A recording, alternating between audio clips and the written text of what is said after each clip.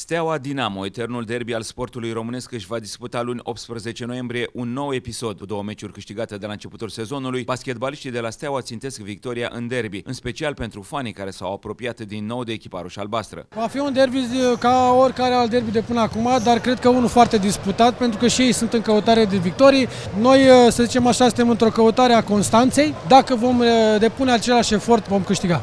Echipa tehnică s-a arătat încântată de prestația jucătorilor în runda precedentă când Steaua a dispus acasă de BCMU FC Argeș Pitești cu 94 la 81 și promite că va face totul pentru o premieră în acest sezon. Două victorii la rând în Liga Națională. Avem nevoie de fiecare meci.